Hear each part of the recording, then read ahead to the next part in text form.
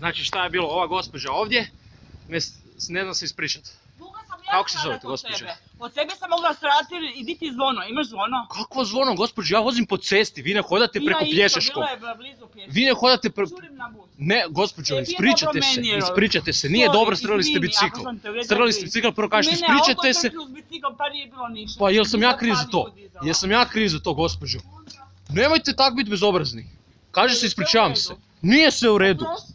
Si uvrijeđen, oprosti. Nisam evo strljate bicikl, A mogu onda ti se kaže, joj, ispričavam se. Ja tebe nisam vidjela. Pa, nisam. pa gledajte prek ceste prelazite, gospođo, to je još gore što ne znate. Kaj da iš da sam ja auto bio? Mogao sam vam skupiti. redu, Mogli smo i ja Razumijete?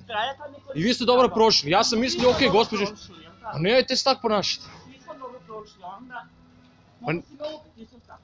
Mogao sam, još gore, zato kažete, znači, Što nisi zvonio ako imaš zvono? pa kako zvono, pa Jer ja vozim po cesti, sad ću ja paziti na svaku osobu koja ta gleda. Pa dajte, ako vi razite cestu, pogledajte malo. Vi pogledajte desno, šta? Pa nije sve okej, evo lanac tu.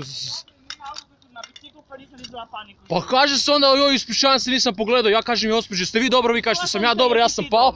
Ne, rekli ste, joj, pazi. Pa po dobro, cesti. sam te pitala jesi dobro, vidim Pa- da je. Hvala Bogu sve okej završilo. Pa nemojte se tako ponašati. Ajde, ajde, gotovo. Mislim, kako, ko vas je to na... Da mi napadaš. Pa normalno vas napadam kad, ste mi, kad me strgate, padnem. I sad vi kasni bus, pa ja isto kasnim. Hvala Bogu nikom nije ništa. Pa nemojte.